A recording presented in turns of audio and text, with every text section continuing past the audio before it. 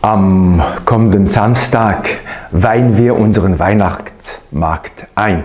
Und Samichlaus kommt zu uns und die Kinder können auf zwei Eseln reiten.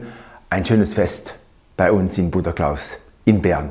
Und gleichzeitig starten wir die Adventszeit, eine Gnadenzeit, eine Zeit der Freude. Wir freuen uns, wir bereiten uns vor auf Weihnachten.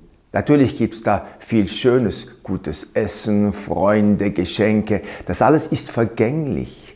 Das wahre Gut, das wahre Heil, das schenkt uns Gott in dieser Krippe in Bethlehem. Und uns darauf vorbereiten, das ist das Geschenk der Adventszeit.